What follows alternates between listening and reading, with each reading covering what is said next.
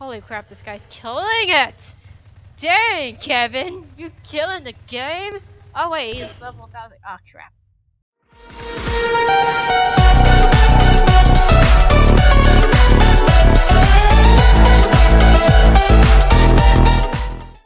Hello, welcome back.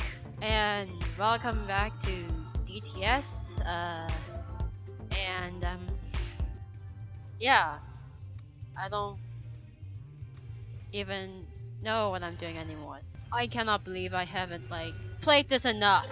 I'm really mad that I haven't. Because like I've been so worked up with school and like my stress levels are too high. I have ups and downs and all that and oh my god I'm I love giving excuses when I shouldn't be giving too many excuses because overall it's like not good or something. I don't even know anymore. I think I'll, I I'm for sure gonna like film again when the Delta update arrives. I decided because December is the last month of 2019. Oh, that we should talk about 2019 overall while playing defend the statue because I think that's appropriate. Are you sure about that? Before I get started on talking about like how 2019 was, oh my god, can you not? Thank you. Get him at the head. Hey, over here, you. I took a few days off Discord. I really needed that to be honest. Like, I don't regret taking a, like, not looking at Discord because I just needed that break from Discord. I just want to let go of everything, like have time to myself and to real life. And um, I just it just felt great. Um, I'll get back on Discord like um soon, but I haven't opened it, so I don't know what ha what has been happening since I was pretty much gone. I am gonna die. Okay, we got him. I was inspired by like a Dolan's twin video I saw of them like talking about how they got creative burnout and to shut everything off for like a week. And that really like inspired me to like change the way. So I decided to shut Discord off for like a week and have time to myself and all. I have like a mini list on my phone I made today on like what I wanted to talk about so that I don't get lost or so. Oh my god, there's a ghost near us. Oh, it's those idiots who burn people. Okay, love that. Um. So uh, first of all, um, before we get on to memories and all that on calls, because obviously I'm gonna talk about that. Frick. Um, how was 2019 overall? But before that, let's talk about YouTube Rewind 20 2019. Oh my god, I have so much to say. Like, I know YouTube was trying to redeem itself because 2018 was like, uh, nobody liked it. Um, and I just felt like it was lazily, it was lazily put. Like it's like a Watch Mojo, and Watch Mojo fixed it. So I think, to be honest, Watch Mojo is way better at doing the, the list stuff. Because YouTube really missed out like the important part. Like, it should be dedicated to Etika. Like, he took his own life in the summer somewhere, and like a lot of people were devastated because he's like, okay, he has charisma. He his his reactions were hilarious. I don't watch him, but like I've heard about him. I saw him like a, I saw like a gameplay of him doing Deltarune and all that somewhere. I forgot where, but like but sure, I did watch one video of him playing Deltarune. I did praise, however, that PewDiePie and Mr. Beast was on there because those were two important people. Also, I recognize like other people that like people are like, oh, who the heck are these? I recognize Azzyland, uh, she's a Canadian YouTuber, and I also recognize like the YouTube was giving a list of like you rate these creators like breakout. Oh crap! Um, and one of them I recognized was Janelle. She's the 21 year old who was a fan with her snake, and that's the only one of them I recognize. And I watched only. I only watched Janelle on YouTubers react, so that's why I, I know. I watch like FBE, so that's why I like recognize a lot of like YouTubers and their faces and all that, even though I like don't watch of their content. I just like know what they look like. So did I like this year's YouTube Rewind? Well, not really, because it was lazily put. YouTube better step up their game for 2020 Rewind! So, how was 2019 overall? oh my god, it was so crazy. Like there were good things that happened, there were like not so good things that happened. Like drama in the beauty community, and then like the fact that PewDiePie got married, and then Mr. Beast wanted to plant 20 million trees to save the earth, and then like uh KreekCraft will be going to Washington DC to talk with like the government for FTC to discuss about the potential features future of YouTube because of COPPA and all that. Oh my god, everyone was freaking out about, freaking out about that. So I understand. I freaked out too. Because is YouTube now becoming commercial and all that? Oh, here's the thing that's like not really related to anything. Um I've been recently getting to getting into SMG4 videos and that's something that I really like. I am a sucker for all things Nintendo and all that. Like I like Legend of Zelda, I like Super Smash Bros, I like Pokemon, and I'm such a big nerd for those.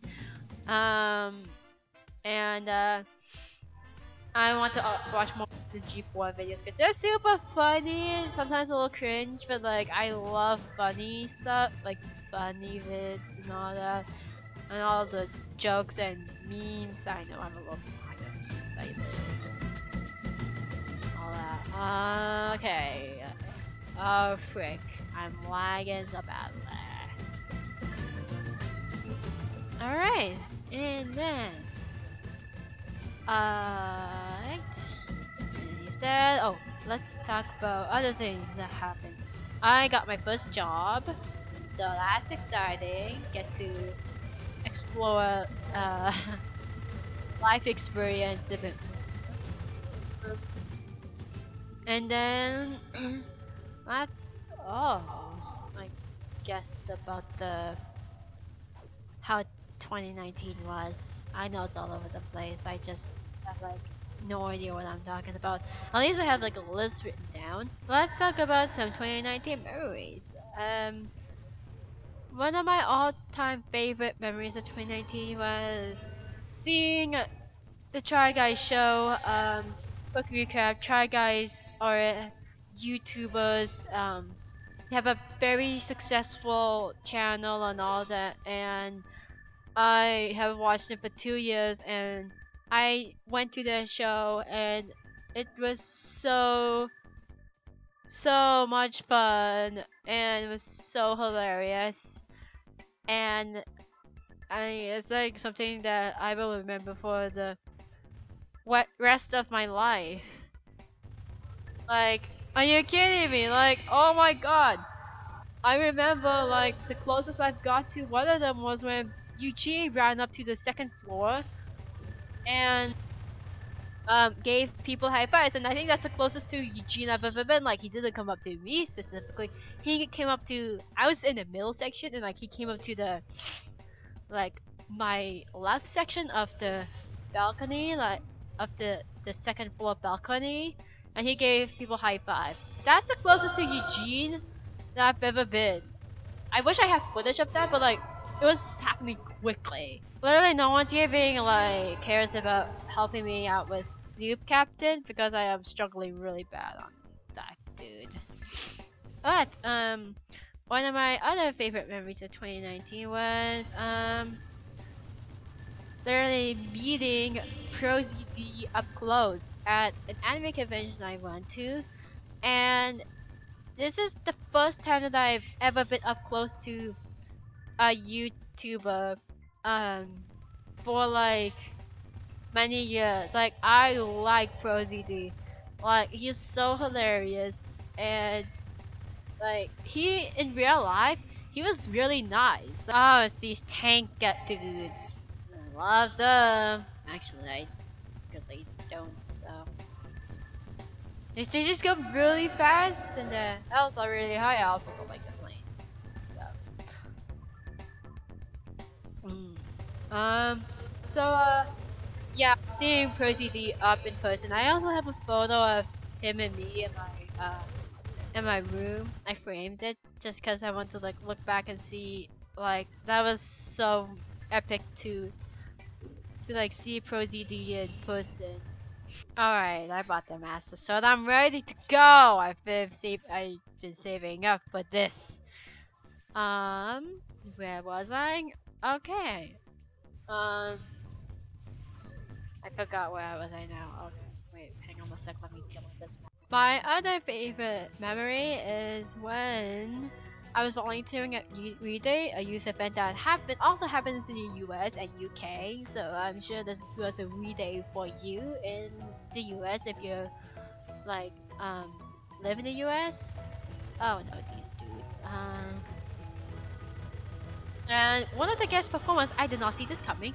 One of the guest performers was season 12 America's Got Talent winner, Rick Joyce Lynn holy cow! Like I was fangirling when they were announcing like her.